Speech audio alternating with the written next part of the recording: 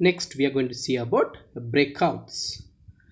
Uh, meetings are least productive uh, when only one person uh, talks and everyone else does listening uh, but doing nothing uh, or taking notes. In general, people's creativity is inhibited in groups larger than five. The felicitator can ask the group uh, from small uh, discussions to address a particular question and then have them report back their uh, conclusions uh, by a subgroup uh, by a subgroup. Uh, another approach is also is there to uh, quick generation. A list of topics or con- uh, or concerns. And then have each breakout uh, take one problem to solve as a subgroup before briefing the general sessions. Let's see the next one. Flip charts uh, unlike a computer or a whiteboard uh, flip charts give a group unlimited space for creativity. When a page of a flip uh, chart is filed it is moved and tapped to a nearby wall. Uh, flip charts are group notes. Uh, people do not need to be taking their own notes. They can have their heads up and uh, be fully engaged with the meeting or in the meeting uh, flip flops are also highly portable and unlike whiteboards next time management.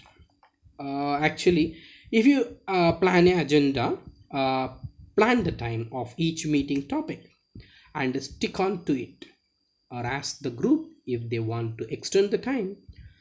Assign a timekeeper to remind the group. Uh, make sure that there is an highly visible clock in the meeting room because time consciousness keeps people focused on problem solving methods. Next one. Group uh, ground rules. Have some ground rules for each meeting so that distractions are minimized and the groups does not uh, waste time. The last one. Idea parking lot.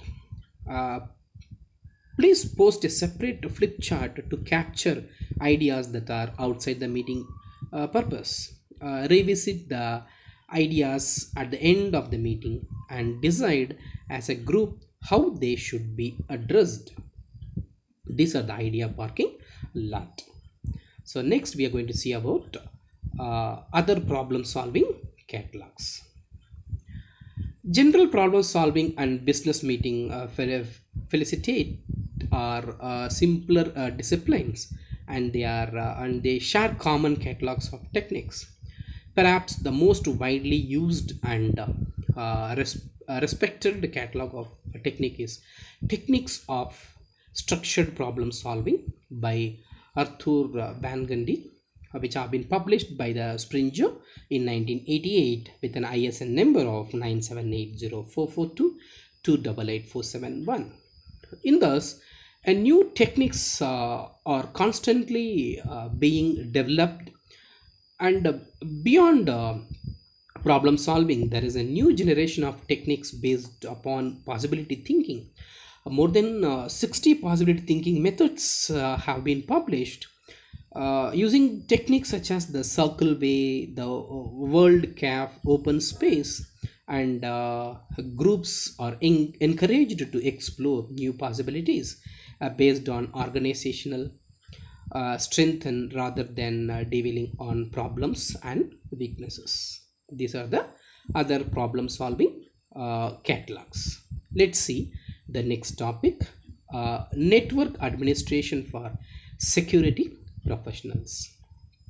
What actually the network administration uh, it's nothing but an admin privilege as how we are going to have our our uh, system or a desktop or a laptop. We are going to have our admin uh, power or admin authority in our system. The same way in a administration in a network an admin how the admin is going to and how securities are going to be provided for the uh, nodes which have been connected. In what way this administration has to be taken care to protect the security? In the professional way. That is going to be elaborately discussed over here. Let's see one by one. A network administration includes the entire life cycle of system uh, from hardware installation to all system changes through uh, to decommissioning. Uh, for a security testing, many administrative operations are invoked to enable tests such as network setup, mounting drives, and transferring data. no need to familiar with a variety of system types and how to work across platforms to be effective. The first step uh, actually uh, in the network administration are setting up the hardware and cabling, uh, then installing operating system and configure system protections such as firewalls, antivirus utilities and anti-spyware tools. Uh, before putting the system on the network, we must do this uh, system configuration protections like firewall or antivirus related softwares and to complete the building uh, or uh, the, to complete the building or rebuilding of a new system offline uh, we need to burn uh, some data cds uh, from another system uh, which download patches and applications. Systems management controls enable uh, the user to manage users because system management control must be enabled uh, to the user to manage the other users in the network uh, just to, to provide a services or to provide any device access or device denies.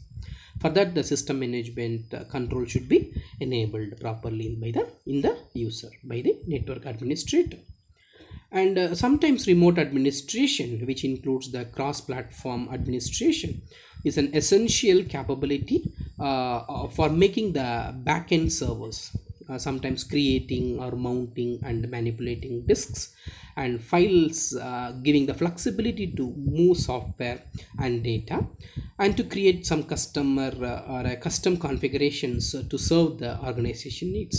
Sometimes we need to uh, customize some of the configurations and we have to give some flexibility for the user to create or to manipulate so that the remote administration has to uh, work with a cross-platform administration and it, it has to enhance the facility and it has to enhance the security for the network administration or uh, network uh, nodes uh, finally, uh, creating a multi-boot uh, partitioned disks enables to consolidate security tools and applications as well as providing other benefits. So what actually the multi-boot partitioned disks? Which are the things which needs to uh, provide the security tools and the applications? So it has to be uh, created and which provides the benefits for the nodes as well as the users in the network administration. The last one in this video we are going to come across a virtual machine software VMware. What actually VMware? The virtual uh, vm uh, virtual machine software VMware is commercial virtual machine software uh, which enables to create a new uh, machine at will to use uh, for testing or uh, testing uh, or users server positioning or provisions some common VMware which includes VM player, VMware workstations and ESXi platforms. Uh, VMware players is a free download for running VMwares. VMware players are there freely available open source we can download and we can use for the uh, virtual machines and uh, VMware uh, workstations and ESXi can create and uh, reconfiguring uh, new VMs and uh, both tools are available in evaluation and licensed version. Uh, this is a small intro about a VM software. So in this video, we have come across with architecture problem solving patterns and architecture problem solving types. And we have come across with the enterprises workshop matrix mining other problem solving catalogs and network administration for the security professionals. And finally we have ended with VMware virtual machine software. So if you have any queries kindly post your queries to me. Yeah thank you for watching this video. Thank you